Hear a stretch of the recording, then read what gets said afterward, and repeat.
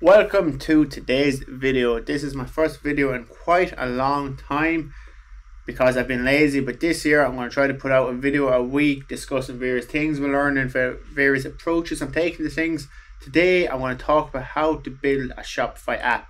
This app is currently pending approval but the app itself is built, all the code is wrote. I'm going to take you through the code I uh, wrote to build it, take you through the pain points I found, take you through the best bits of the documentation, take you through the worst bits of the documentation, things I've learned that will that I would do differently from here on out. This is a very technical um, tutorial, technical video. If you're just here to learn about Shopify, this is not the place to be. This is how you build a Shopify app with code. And that is it. So if you're interested in learning how to do this and how to get up and going with it, then continue watching this video. Let's jump on over to the code. Before we get into the code, I'm just going to show you the application quickly. This is the application here. It's in my apps store. Oh, sorry, it's in my uh, apps on my store. It's really basic.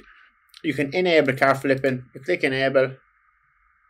And then when any time an item is added to a cart, the cart will do a flip. The user has three options. Rotate fast, rotate slow, rotate both directions. So the purpose of this tutorial isn't to show you the app, it's to show you how I built it. Like what happens when I click disable how is the app deployed? Where does it live? How do you send to the Shopify for review? All that good stuff is going to be covered. Now we can get to the code. So this is the code for the application. Now, uh, Shopify apps use Next.js. You can use other things as well, I think. But um, when you're building a Shopify app, you from now on, what you should use is the CLI tool, which essentially will scaffold the app out for you. So it gets everything set up quite quickly. Now there's a couple of little pain points with using that tool and I'm gonna I'm gonna discuss things you should do when you use it. So let's get into the code. So like a lot of server-side render applications, you're gonna have a pages directory. Now as you can see from my application, from what I showed you, it only has one page. So I just have index.js. Now in, in index.js is where I set up my different components and stuff. You can break them out into separate files if you like having each file has a component. I wouldn't be bothered and this is much easier to work with. So the next thing we're gonna talk about is the is the component library.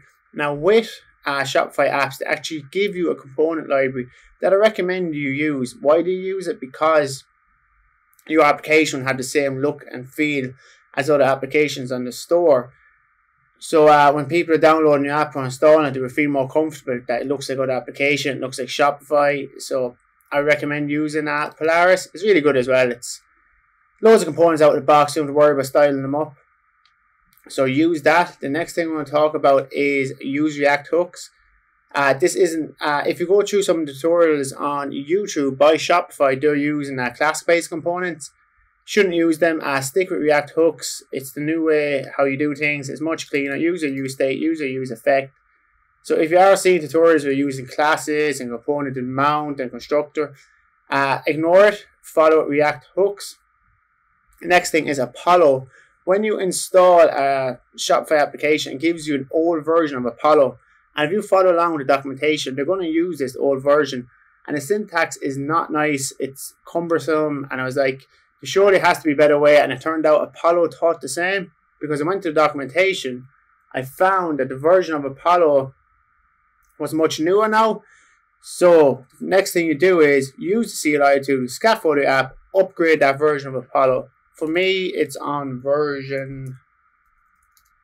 Uh, that's Apollo Boost. It's on version 3.2.7. It could be newer now. Whatever the newest one is, install it. And I'm just going to quickly go through uh, the rest of the file here. So I'm using style components. Again, this doesn't come with the CLI tool.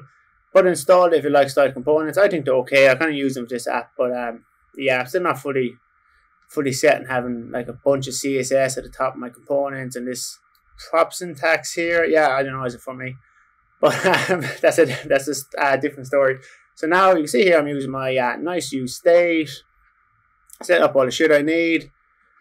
Uh, we're going to talk about how I'm creating snippets, what a snippet is, and just quickly, a snippet is what you create in the store, so your JavaScript can live in the store because it needs to live somewhere.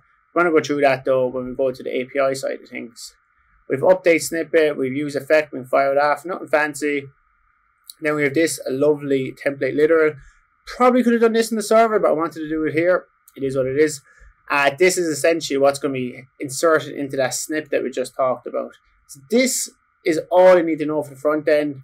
Follow those tips and tricks I gave you when you install um, when you install your or you set up your app. Make sure you're using hooks. Don't mind what you see other uh, channels using. Make sure you upgrade a version of Apollo. And then if you want to use, oh yeah, make sure you use a Polaris. And if you want to use um, style components, do your thing. I don't think I'm going to use them again, but that's me. Now we're going to move on to the back end side of things. Just as a heads up as well, uh, if you don't know what Apollo is, is how you do GraphQL calls. Shopify supports REST and GraphQL, but something we're going to discuss is that uh, some of the calls you do, Shopify would tell you that GraphQL can do all the requests you can with the REST API. You actually can't, and I wanted to discuss that in the next part. But if you're just wondering what Apollo is and what this mad syntax is, that's GraphQL. Use that, and I want to just talk about the little drawbacks and things you would have to fix yourself because you can't do everything with it. But in uh, the, when you can use it, use it. Okay, so now we're going to get into the server side of things. This is where you create our snippet. The snippet is what you insert into the Shopify store, like what we said before, or into whatever store the user has. Now, you currently can't do this using GraphQL. You see here I have a create script. That actually does nothing. I just put it in for this tutorial. But you currently can't create snippets using GraphQL API, which isn't great, but I think Shopify will eventually add support for that. So anyway, uh, with Next.js, all your server stuff lives in server. So we head over to server.js. The first thing we can talk about is the API key and the API secret. When you um, first create your app on the on your partner dashboard, you get an API secret and API key for the app. You just add them into your environment uh, variables. I'm not covering how to make the apps and stuff. I'm, I will link to the documentation because documentation is a really good job uh, to make it really clear how to do it. I would just parrot on what they're saying. This be this video will be really long and be wasting my time and more importantly wasting your time. So let's not discuss that. Next thing is webhooks. Webhooks are fired when an application is deleted, created. Or sorry, when a team is deleted, created. There's a bunch of them for like when a product is added to the cart, for example.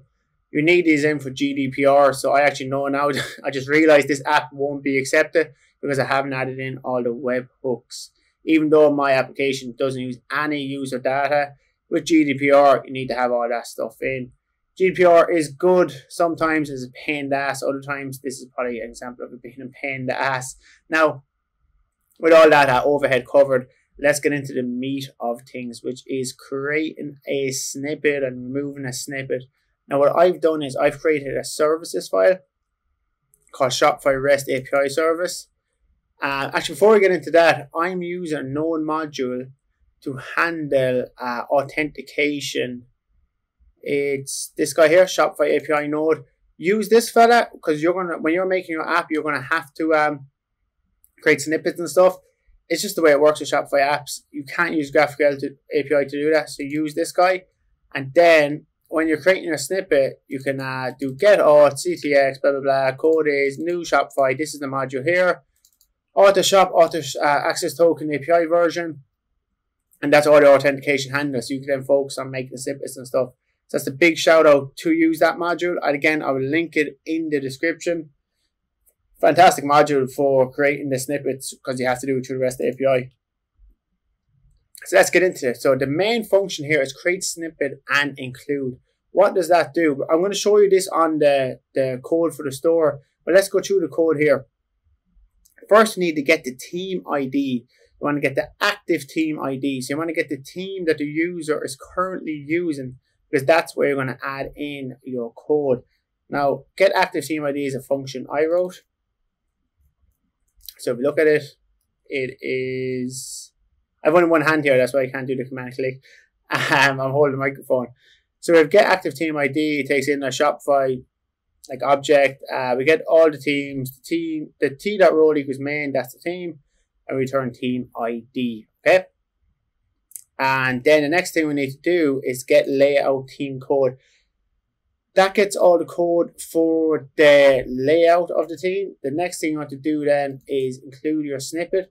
This is like um, like including a file onto a page. This would be included onto the main page of the website like you include a script file on your own website. Next thing is just my little bit of magic on how to update the team. Because essentially you have this big blob of a string being returned to you and you need to insert code into it. So this is what I'm using. Feel free to copy it. Next I do then is use my again I use my Shopify object. I do asset.create, pass in the team ID. This is the directory I'm create where I'm creating it, and then this is the name I'm giving it, which I pass in as an argument. Then the value, which is going to be the big blob of um or the big string with the updated code. So that creates my snippet. And then I'm updating my theme.liquid. This is like the index file of a Shopify team I include all the scripts. And I'm adding in the reference to that snippet. This sounds really confusing. I'm actually going to go through the code on the Shopify store and then you're going to see, oh, that's what he's doing. And then you're going like, oh, I shouldn't. Like, it's, it's easy. It's technically easy. um, this for updating the snippet. It's like what we do above, but this time obviously don't need to create the snippet or link to it. We just need to update it. That's like when a user says, oh, I want the double uh, flip, not the single one. Remove snippet. I actually call this on anytime the application is disabled. I remove out the snippet, but still going to add in hooks for GDPR. Fuck me, right? and then we have get snippet, get layout team code, get layout team code, and get active team ID. They're just helpers that I have. That is the bulk of stuff you need to know there. And the uh, next thing I want to do now is head into the code for the team and go through what's happening when I create it. So let's hop on over to my test store. So here we're on my test store. So if I click enable, what happens now is when I click enable, that's actually creating a snippet and including it. When I click disable, that's calling that remove snippet endpoint. So let's click enable again. So what's actually happening is if you go to an online store, once it loads, then you go into uh, edit code. This is really, really cool. So if I go to theme.liquid, you can see in here now I've include cart flipper. That's including the snippet I create in the snippets directory. Paul, where the hell is the snippets directory? That's down here. Open your eyes. so do cart flipper dot liquid. This is what I've created. This is the you can see here I'm targeting the site header car, basic CSS. Show notice guys watching this video. I'm putting display inline block because notice in some teams it was display inline, and obviously when it's display inline, you can't do transforms and all that good stuff on it. And then I'm doing the code for doing the flip. This is really, really clever code, if I may say so myself, because I stole it. Uh, anytime it picks up a change in the cart or any the like the children of the cart HTML element, it will cause the transition to happen, which is really, really sweet. Now, if I was to go back to my app, so cart flipper, and I was to rotate both directions, that has now updated the code of the team. So we can go edit code.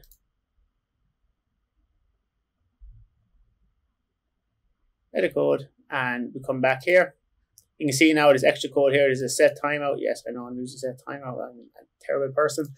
and it was putting set timeout to 600, which is the length of the first rotation. So when that ends, then this will rotate it back. Yes, that's actually I spent so long in this because I put in 360 degree and then I was putting in minus 360, so it was double. It was like flipping twice backwards. Like I'm so thick, um, that is what happens. But this is huge. I really hope you do know this. This took uh, it took me fucking ages to figure out what was going on with these Shopify teams. How does it know what code to run? It's all done within this snippet thing. That's where for most apps where they do it. So you install, if you want to test out um, your app in the store, or just even just go to any store and just install some apps, you will see this being filled up with code, and you will see Theme.Liquid uh, adding references to it and all that good stuff. Now, the next thing we're going to move on to is running the application, which is not as easy as you would think. Okay, when running a Shopify application, it uses a thing called port forwarding. What that basically means is you need to give a URL that when hit, it will forward onto your local host.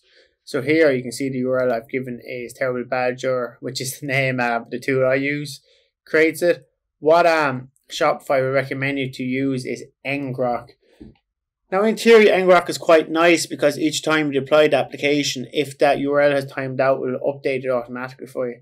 This comes a bit of a trade-off because what I found when I'm trying to develop using ngrok is it constantly times out and says, oh, you've sent way too many requests. I'm like I've sent two requests in the last two minutes. So I really don't recommend using ngrok. What I instead recommend using is so what I recommend using instead is local tunnel. Now, local tunnel, each time you run it, it will give you a URL. So you need to insert that into Shopify Partners dashboard, which is what I just showed you. Paul, what's the Shopify Partners dash- dashboard? That's covering the documentation. Shopify's documentation. Learn that stuff there because they do a much better job explaining it to me. So each time you run your application, so I can actually show you here. So if I do view, and uh, let's do terminal. And we're in my app here. So what I can do is I can do npm run dev, like so. That would spin up the application, and then you come in here. Add another one, you do LT, that's the, you install as a global dependency. That's the port you want to use. Now this gives Tasty Dog 27.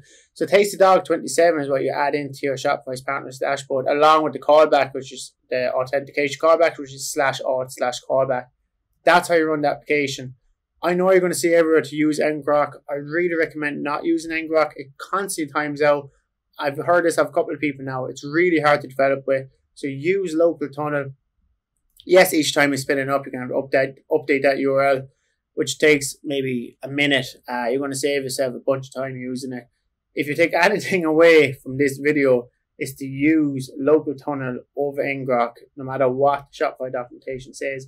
Don't get me wrong, the Shopify, the Shopify documentation is fantastic, but for ngrok, I just I just don't see the vision there. I don't think it's the best way to go. Uh, for I'm just going to quickly um, if I'm just going to quickly cover. Jeez, tongue twister. I'm going to quickly cover uh, when you want to deploy your app, I recommend using Heroku. It's quite easy going. Uh, documentation is really good. Bang your app up on that, and then you can then you have a URL for your application. If you're interested in how you deploy an app and all that, I will make a separate video. It's kind of out of the scope of this one. You can drop a comment below and ask me to make one on it, and I will.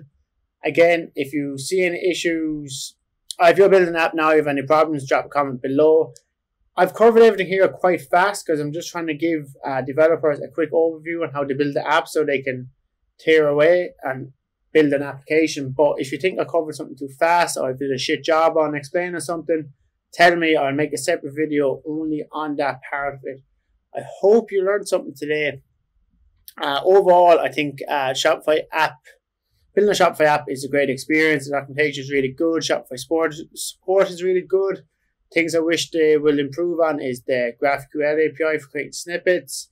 They can improve the documentation in some parts not to use outdated libraries. And their Shopify Dev YouTube channel, if they could upload more videos, would be great because we do get a little bit lost. And if they could also show the app review process, they do have a video on it, but show the app review process on applications like this that's interacting with the store and what they expect and how to run them and stuff. So if shop if anyone Shopify is watching this, that's what I recommend. But overall, great experience. Uh, recommend anyone to build an app. If you have React knowledge, then you're away with it. If you have some Node knowledge, then you're just to crush it. Like and subscribe if you want to see more content. Up to yourself. I don't mind. Have a cracking day.